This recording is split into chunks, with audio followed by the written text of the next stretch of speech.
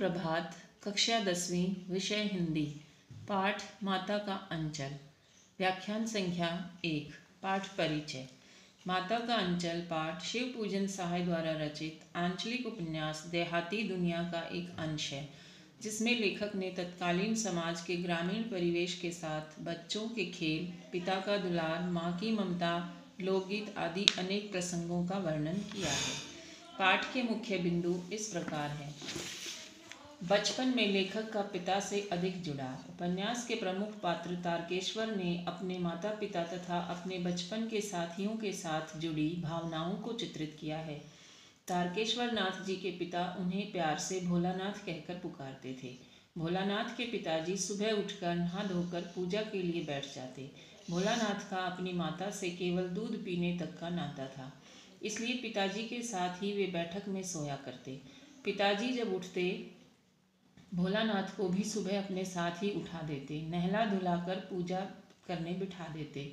भोला के जिद करने पर पिताजी उनके माथे पर एक प्रकार का तिलक त्रिपुंड लगा देते। त्रिपुंड का अर्थ होता है अर्धचंद्राकार रेखाएँ बना देना।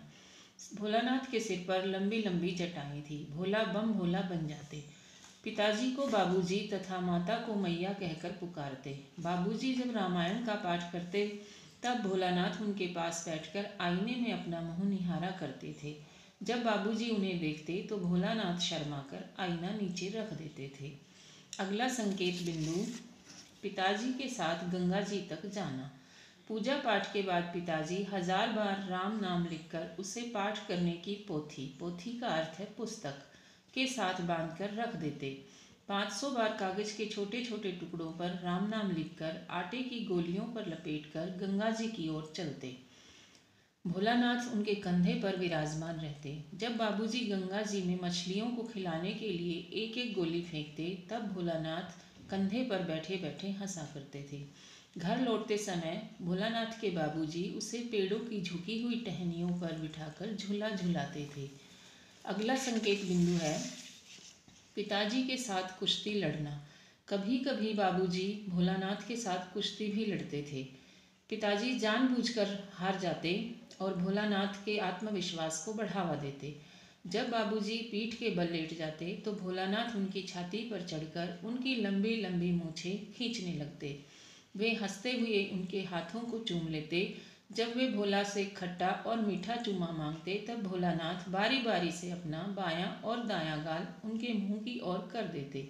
बाएँ का खट्टा तथा दाएँ का मीठा चूमा लेने लगते, तब पिताजी अपनी दाढ़ी या मूछ भोला के कोमल गालों पर गड़ा देते थे। झुंझलाकर भोलानाथ उनकी मूछें नोचने लग जाते थे।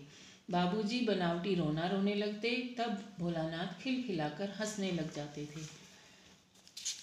अगला संकेत बिंदु है माता पिता द्वारा भोलानाथ को खाना खिलाना। जब भोलानाथ बाबूजी के साथ घर आते, तब खाना खाने बैठते। बाबूजी अपने हाथों से खाना खिलाते, पर उनकी माँ को लगता कि ऐसे बच्चे का पेट नहीं भरता। कम खाने पर भी वह समझता है कि उसने बहुत खा लिया है। उसकी माँ कहती कि जब खाएगा बड़े बड़े कोर, तब दुनिया में पाएगा ठोर। माँ के हाथ से खाने पर बच्चों का पेट भी भरता है। माँ, तोता, मैना, कबूतर, हंस, मोर आदि के बनावटी नाम से कोर बनाकर भोलानाथ को यह कहते हुए खिलाती जाती कि जल्दी खा लो, नहीं तो उड़ जाएँगे। पर भोलानाथ उन्हें उड़ने का मौका नहीं देते और जल्दी से खा लेते। खाना खा लेने के बाद भोला को खेलने के लिए भेज दिया जाता। भोला उछल कूद कर लकड़ी का घोड़ा लेकर नंग धड़ंग बाहर गली में खेलने के लिए निकल जाते। अगला संकेत बिंदु है, माँ द्वारा भोलानाथ के सिर पर तेल लगाना। जब कभी माँ भोलानाथ को ज़बरदस्ती पकड़कर उसके सर में सरसों का तेल डालती, तब भोलानाथ रोने लगते और बाबूजी भी माँ पर बिगड़ने लग जाते थे। पर वे सिर को तेल से सराबोर करके ही छोड़ती थी। काजल की बिंदी लगाकर भोलानाथ की चोटी गूंथती और उसमें फूलदार लट्टू बांधकर रंगीन कुर्ता टोपी पहना देती थी। इससे भोलानाथ खासे कन्हैया बनकर बाबूजी, कन्हैया बन जाते थे। और बाबूजी की गोद में सिसकते सिसकते बाहर आ जाते। बाहर आकर बच्चों का झुंड मिल जाता। भोलानाथ उन साथियों को देखते ही सिसकना भूल जाते। बाबूजी की गोद से उतरकर उस दल में शामिल होकर तमाशे करने लगते। वे सब मिलकर तरह तरह के नाटक खेलते थे। अगला संकेत बिंदु है। भोलानाथ और उनकी मित्र मंडली द्वारा बचपन में खेले गए तमाशे। चबूतरे का एक कोना नाटक घर बनता था। बाबूजी की जिस छोटी चौकी पर बैठकर नहाते, वही रंगमंच बनता। उसी पर सरकंडे के खम्भों पर कागज़ का छोटा सा शामियाना तानकर मिठाइयों की दुकान बनाई जाती। चिलम के खोचे पर कपड़े के थालों में ढेले के लड्डू, पत्तों की पूरी कचोरियाँ, गीली मिट्टी की जलेबियाँ तथा टूटे फूटे हुए घड़े के टुकड़ों के बताशे आदि मिठाइयाँ सजाई जाती। बर्तनों और जस्ते के छोटे छोटे टुकड़ों के पैसे बनते, बच्चे ही दुकानदार बनते और खरीदार भी। थोड़ी देर बाद मिठाई की दुकान बनकर घरौंदा बनाने लगते। मिट्टी की दीवार और तिनकों का छप्पर, दातुन के खंभे, दिया सलाई की पेटियों के किवाड़, घड़े के मुंडे की चूल्हा चक्की, दिए की कढ़ाई और बाबूजी की पूजा वाली आचमनी, कलछी बन जाती थी। पानी के घी, मिट्टी का आटा, बालू की चीनी में से वे बच्चे दावत तैयार करते तथा वे ही दावत खाने बैठते।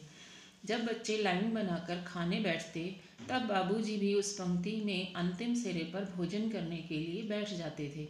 बाबूजी को देखते ही बच्चे हंसकर घरौंदा तोड़कर भाग जाते थे। बाबूजी भी हँसते हँसते लोटपोट हो जाते और पूछने लगते कि फिर कब भोज होगा भोलानाथ। कभी कभी बच्चे बारात का जुलूस भी निकालते थे। कनस्तर का तंबूरा बजाते, आम के उगते हुए पौधों को घिसकर शहनाई बजाई जाती।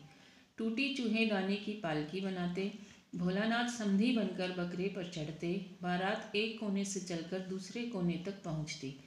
लकड़ियों की पटरियों से घिरे गोबर से लिपे, आम और केले की टहनियों से सजाए हुए छोटे से आँगन में कलशा रखा होता। वहीं पहुंचकर बारात वापस लौट आती। लौटते समय खटोली पर लाल कपड़ा डालकर उसमें दुल्हन को बिठाकर वापस लाया जाता। लौटते समय जब बाबूजी जैसे ही लाल कपड़ा उठाकर दुल्हन का मुँह देखने लगते, सभी बच्चे हंसकर वहाँ से भाग जाते। थोड़े समय बाद फिर लड़कों की मंडली इकट्ठी होती और राय दी जाती कि अब खेती की जाए। चबूतरे को खेत मान लिया जाता, दो लड़कों को बैल बनाकर बड़ी मेहनत से खेत जोते, बोए और पटाए जाते। जल्दी ही फ़सल तैयार हो जाती और कटाई का काम भी शुरू हो जाता। काटते समय गाते थे ऊंच नीच में बई क्यारी जो उपजी सो भई हमारी। फ़सल को एक तरफ़ रखकर उसे पैरों से रोंद डालते, कसोरे का सूप बनाकर उसाते और मिट्टी के दिए तराजू पर तोलकर राशि तैयार कर देते थे। इसी बीच बाबूजी आकर पूछते कि इस साल की खेती कैसी रही भोलानाथ? बाबूजी पूछते वैसे तभी भोलानाथ सभी लड़कों के साथ झूठ मूठ के खेत खलिहान को छोड़कर हँसते हुए वहाँ से भाग जाते। जब बच्चे झूठ मूठ के खेल खेला करते, कई यात्री भी ठिठक कर देखते और उनका तमाशा देखने लग जाते थे। अगला संकेत बिंदु है, बाल जीवन की अन्य स्मृतियाँ ददरी के मेले में जाने वाले आदमियों का झुंड देखते तो सभी बच्चे उछल कूद कर चिल्लाने लगते। चलो भाइयों ददरी, सातु पिसान की मोटरी। किसी दूल्हे के आगे जाती हुई ओहारदार पालकी देखते तो खूब ज़ोर से चिल्लाने लगते। रहरी में रहरी, पुरान रहरी, डोला के कन्या, हमार महरी। भोलानाथ को याद है कि एक बार बूढ़े दूल्हे ने उन्हें ढेलों से मारकर दूर तक खदेड़ा था। उसके घोड़े जैसे मुँह को देखकर भोलानाथ को बड़ी हैरानी होती कि न जाने किस ससुर ने ऐसा जमाई ढूंढा है। कभी कभी आंधी आती। सभी लड़के बाग की ओर दौड़ पड़ते चुन चुन गोपी आम खाते थे। एक दिन जोरों से आंधी आई, आकाश काले बादलों से ढक गया। बादल गरजने लगे, बिजली चमकने लगी, ठंडी हवा चलने लगी। सभी लड़के चिल्ला उठे। एक पैसा की लाई बाज़ार में छितराई। बरखा उधरे बिलाई, परंतु वर्षा नहीं रुकी, बल्कि और तेज हो गई। सभी लड़के पेड़ की जड़ के तने से चिपक कर खड़े हो गए, जैसे कुत्ते के कान में छोटे कीड़े चिपक जाते हैं। वर्षा बंद होते ही बाग में बहुत से बिच्छू नज़र आए। सभी डरकर भागने लगे। उन लड़कों में बैजू बड़ा ढीठ था। अचानक रास्ते में बूढ़े मूसन तिवारी मिल गए। बैजू ने उन्हें चढ़ाया। बुढ़वा बेईमान मांगे करेले का चोखा। सभी लड़कों ने बैजू के सुर में सुर मिलाकर चिल्लाना शुरू कर दिया। जैसे ही तिवारी जी ने लड़कों को खदेड़ा तो सभी अपने अपने घर तेज़ी से भागे। जब तिवारी जी को कोई लड़का न मिला तो वे सीधे पाठशाला पहुँचे। वहाँ से उन्होंने चार लड़कों को भोलानाथ और बैजू को पकड़ लाने के लिए कहा। बैजू तो भाग गया, भोलानाथ लड़कों द्वारा पकड़ लिया गया। गुरुजी ने भोलानाथ की खूब खबर ली। जैसे ही बाबूजी को पता चला, वैसे ही वे पाठशाला दौड़ते हुए आए। भोलानाथ को गोदी में उठाकर चुप कराने लगे। उन्होंने गुरुजी से विनती की और भोलानाथ को घर ले आए। रास्ते में लड़कों का झुंड मिला जो ज़ोर ज़ोर से गा रहा था। माई पकाई, गरर गरर पुआ, हम खाई पुआ, ना खेलब जुआ। लड़कों को नाचते और गाते देख भोलानाथ जिद कर बाबूजी की गोद से उतर गए और लड़कों की मंडली में जाकर शामिल हो गए। सब लड़के मक्के के खेत में दौड़ पड़े। वहाँ चिड़ियों का झुंड चल रहा था। वे दौड़ दौड़ कर चिड़ियों को पकड़ने लगे, पर एक भी हाथ न लगी। भोलानाथ खेत से अलग खड़े होकर गा रहे थे। राम जी की चिड़ई राम जी का खेत, खालो चिड़ई भर भर पेट। कुछ ही दूरी पर बाबूजी और गाँव के कई आदमी खड़े होकर तमाशा देख रहे थे और हंसकर कह रहे थे कि चिड़िया की जान जाए, लड़कों का खिलौना। ठीक ही कहा गया है, लड़के और बंदर पराई पीड़ा नहीं समझते। अगला संकेत, बिंदु, शरारत, महँगी पड़ना एक बार सभी लड़के टीले पर चढ़कर चूहों के बिल में पानी डालने लगे। नीचे से ऊपर पानी फेंकने के कारण सभी थक गए थे।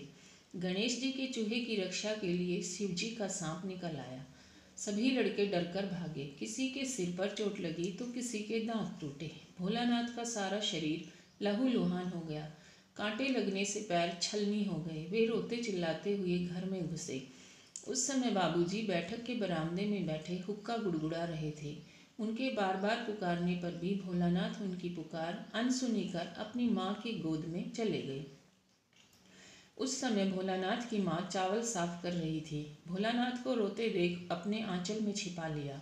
डर से कांपते देख सब काम छोड़कर स्वयं भी रोने लगी। भोलानाथ को डरा हुआ देखकर रोने का कारण पूछने लगी। जल्दी से जल्दी उन्होंने हल्दी पीसी और भोलानाथ के घावों पर लगाई। घर में बहुत शोर मच गया। भोलानाथ केवल धीमी आवाज़ में कांपते हुए, सांस से सांस कहते हुए माँ के आंचल में छुप रहे थे। सारा शरीर थर थर काँप रहा था। भोलानाथ आँखें खोलना चाहते थे, पर खुल नहीं रही थी। माँ बार बार उन्हें निहार रही थी और गले लगा रही थी। उसी समय बाबूजी दौड़कर आए। वे उसे माँ की गोद से अपनी गोद में लेना चाहते थे, पर भोलानाथ ने माँ का आंचल नहीं छोड़ा, क्योंकि उस आंचल में उन्हें प्रेम और शांति मिल रही थी। बच्चों, पाठ तो आपने सुन लिया, पढ़ लिया, और पाठ्य पुस्तक के पहले दो प्रश्न जो है अभ्यास कार्य के वो आपको अपनी उत्तर पुस्तिका में लिखने हैं। तीसरा जो प्रश्न इसके अंदर दिया हुआ है, अभ्यास कार्य में, कि आपने देखा होगा कि भोलानाथ और उसके साथी जब तक खेलते थे तब किसी न किसी प्रकार की तुकबंदी करते थे। आपको यदि अपने खेलों से तुकबंदी याद है तो आप प्रश्न नंबर तीन में उन तुकबंदियों को लिखेंगे।